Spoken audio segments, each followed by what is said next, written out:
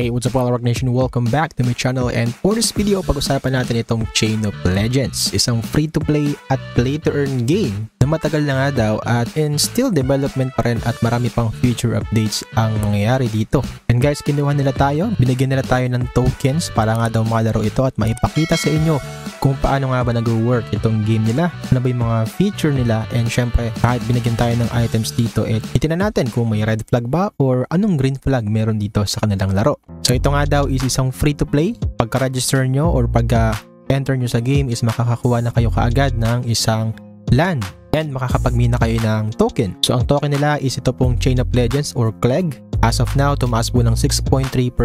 And yes, we still don't know na kung tataas pa talaga ito or pwedeng bumaba sa following days. Pero yun nga, no, ganun na ba katagal ito? So nag-start po sila ng September 2022 and ngayon 2023 still uh, November na o one year na rin pala itong game natin. And syempre meron din white paper guys na pwede nyo puntahan to para malaman nyo rin yung mga details na hindi ko masasabi at uh, yun nga, no, baka magkaroon kayo ng interest eh kayo na yung bahala kung uh, tatalpa kayo dito or papasok kayo dito guys. Or mag-invest kayo ng pera ninyo or crypto. Pero dito sa video natin is lalaroin natin siya kung paano nga ba ito nilalaro no? So dito kailangan mo po ng metamask okay? So pwede namang wallet connect pero metamask ang pinaka recommended or pwede kayo mag-sign in through Google ang player nila dito is nasa 209,000 na daw. And uh, yung marketplace trade volume is medyo malaki-laki. Marketplace trade volumes, ayan, so 818M CLEG tokens estimated to 1.8 million USD. Total burn down ng token nila is nasa 236 million na. So maganda na may burning mechanism. So 70% of all in-game CLEG spent by players ito. So every time nga no, may naglalaro, may nababurn din na tokens. Yun yung kagandahan guys no. So alam niyo naman yan pag mga games na may burning, ayun yung mga may chance din no na syempre yung longevity, kailangan talaga yan sa pag-ikot ng ecosystem nila. So if you want to buy the token or CLEG, ayun po, na mabibili nyo po yan sa xt.com, EasyBit, CoinsBit, and PancakeSwap B2. And para nga malaro na natin, i-connect na natin yung ating wallet dito, MetaMask. Ayan, so pwedeng browser wallet, pwedeng Coinbase, pero MetaMask na yung gagamitin natin. Sign lang tayo dito. And ito na po, no, uh, pagka-register nyo dito or pag-assign nyo dito guys, is may makukuha nga kayong CLEG token mine. Ito po yung free. Okay, makakollect mo siya every uh, 24 hours. Okay, collect mo lang siya. Successful. So, pag nag-8 ulit siya, 8.08, i-collect nyo lang po ng i-collect. So, per day po, makakakuha na kayo ng token dito. Pero yun nga, no, uh, hindi siya worth it kung free to play tayo, no? Kasi matatagalan kayo. Baka bumaba pa na bumaba yung token, yung price is talagang sobrang tagal pag free to play ka dito. So, free to play siya pero hindi siya ganun ka-enjoy laruin kung free ka lang. Okay? So, mostly isang click-click lang naman to. And dahil nga binigyan nila tayo ng token is magagamit nga natin to para sa pag-enhance ng mga building, pagbili at uh, pang-raid, no? Or may mga lands tayong i-raid dito. Wala din namang action-action to. Maganda siguro kung gagawin nilang parang Clash of Clans, no? Yung may nalulusubing kang mga buildings. Pero dito guys, mostly is click lang. So mamaya papakita natin yan. And dito guys, no? Meron din po tayong mga quest dito sa baba. So makikita nyo yung boots na may uh, wings, no? Click nyo lang yan. And then dito, yung mga uh, quest natin, no? So complete guide, ayan. So enable, upgrade, and then yun, kung gusto mo mag-deposit, it's up to you yan. Okay, wala pang sapilitan. Okay, always uh, do your own research pa rin. Hindi po ito financial advice. I just want to give you an information lang din about them. And yes, kinuha nga nila tayo, binigyan tayo ng token para maipakita nga sa inyo paano siya nag-work or paano nilalaro, guys. Okay? So yun na nga yung token natin gagamitin natin to. Pwede mo tong i-upgrade, no? Yung mining natin. Tapos, itong barracks, kailangan natin tong barracks. Para syempre mag-create ka ng mga uh, warrior army mo dito para lumusob nga sa ibang base guys no? Lulusob tayo mamaya no? So i-build lang natin tong barracks. Tapos ang kailangan dito is ayan po no? Kailangan po ng uh, stone and then steel. So ito po yung mga requirements. So kung makikita nyo so wala pa yung materials natin dito. So kailangan natin ng stone mine at itong iron mine. So bibilin mo pa rin pala to. And guys no? Yun pala no? Bago ka makalimutan is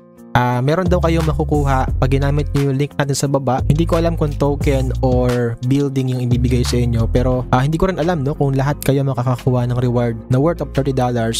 So pag ginamit nyo yung link natin sa baba is siguro chance lang din pero it's up to you kung gagamitin niyo yan guys, no? And tinan natin kung makakakuha kayo. So it's up to you din kung lalaroin niyo po ito guys, ha? So yun, uh, balik tayo dito. Bibili tayo ng stone mine at saka ng iron mine para makakuha tayo ng requirements dito para makagawa tayo ng barracks.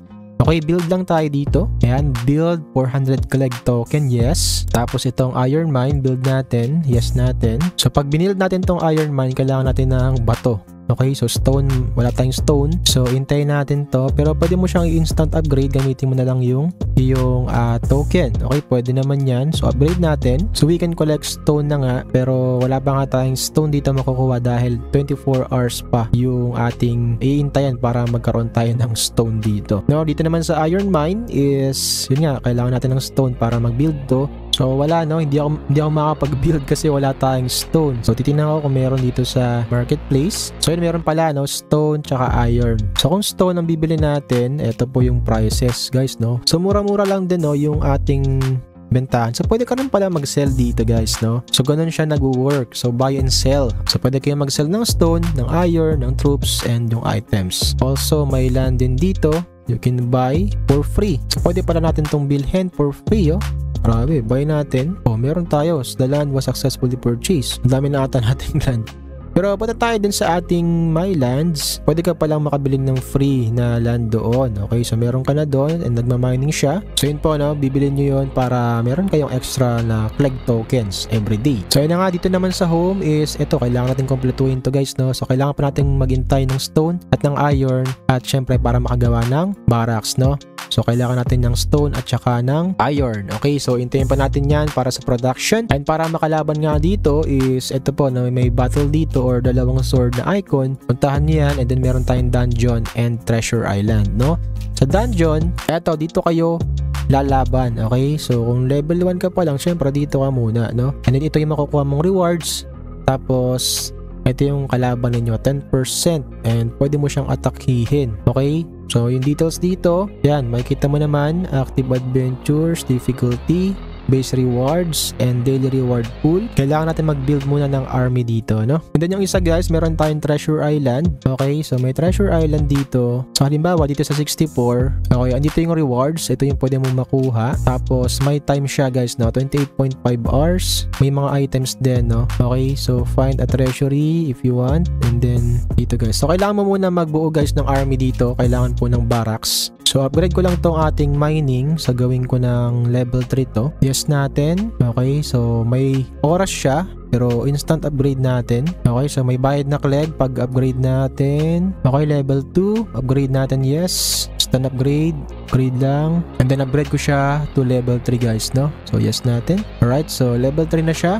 And hintay lang natin to ma-build guys, no? Para magkaroon tayo ng barracks. Okay, so update siguro ako dito sa ating game. So yan, sa pag-upgrade, no? May mga quest nga tayo dito. Meron tayong makukuhang land ba? Claim natin to. Okay, so meron tayong uh, reward, no? Mamaya titignan natin yan. Okay, claim natin. Claim ulit. So, claim-claim nyo lang guys na pag may nakukuha kayong rewards dito. So, ito nga, no? Ito yung mga land natin. Pwede mo din siyang isell. Okay? Pero, syempre, hindi. Hayaan na lang natin to kasi nga may namimina siyang collect token. Tapos, ayun, may stone din, tsaka iron siyang namimina. Oh, goods pala to eh, no? Tapos yun nga, nakakuha pala tayo ng stone, tapos iron, okay? So, ayan, usually, ang gagawin nyo lang dito is, yun, mag-collect-collect, tapos uh, manakop kayo. Okay, punta kayo sa dungeon and treasure island. Dito sa dungeon guys, is yun nga, makaka-earn kayo dito ng clegg, uh, stone and then iron. Okay, so yun, syempre, palakas ng palakas yung kalaban dyan. Syempre, yung mga troops ninyo or army is kailangan yung palakasin din. Okay, dito naman sa treasure land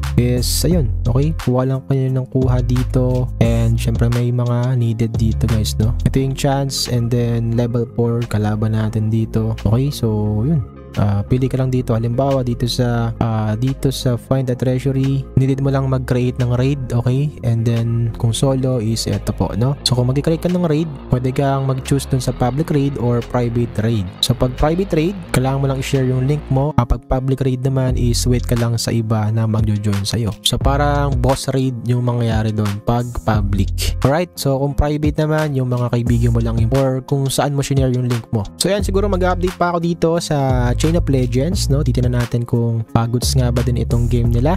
Siguro next next week or uh, tingnan natin pag nakabuild na ako ng Stone Mine, Iron Mine, tsaka Barracks and tingnan natin yung earnings ko dito guys, no? So gagastusin ko pa tong token na to para makapag-build ng ating army, ng barracks, papaleveling ko rin to, tsaka yung itong uh, mining natin guys, no? So yun lang for now. So yun, uh, sa mga mag-register daw, is makakakuha daw kayo ng uh, worth $30. Hindi ko lang alam kung ano yon And hindi ko alam kung lahat makakakuha guys kung gagamitin nyo yung link natin sa baba. So yun lang guys no for this Chain of Legends uh, game. Okay, free to play, play to earn. Okay, you can mine nga dito, strategize and yun nga may battle tayo dito, raid and yun, araw-araw collect lang ng mga clegg tokens, uh, iron and then stones. Right? So yun, hoping po nagkaroon kayo ng information dito sa ating game. Sana po ay na-elect ninyo. And don't forget, kung hindi ka pa nakasubscribe, mag-subscribe ka na. And don't forget to hit notification bell para hindi po kayo mahuli at updated po kayo lagi sa ating mga videos. For more contents about uh, play to earn, free to play guys, no, meron tayo dyan sa ating channel. Mga airdrops, free airdrops, no, uh, free mining, applications, mga crypto na pwede tayong kumita kahit walang nilalabas na pera. Meron tayo dyan sa contents natin sa channel. Ang ganito na lang siguro yung ating review. Sana po ay nagustuhan ninyo. Huwag nyo kalimutan sumali sa ating All Rock Nation group chat sa Telegram. Meron tayong game nights doon every week. Pwede kayong manalo ng Gcash doon. Okay? So yun guys, see you in our next video. This is Alrock. Thank you so much. Stay safe, stay healthy, and God bless to all of you. Halika na't sumama sa aming barangay Samahang masaya, ano pang hinihintay Kung online games ang iyong gusto Dito ka sa guild ko, solid to Sa aming community na puro makulit Mga hari na trash talk pero malupit Bawal ang iyakin kapag ka natatalo Magpalit ka na ng bago at lumipat ka ng kampo Gusto mo kumita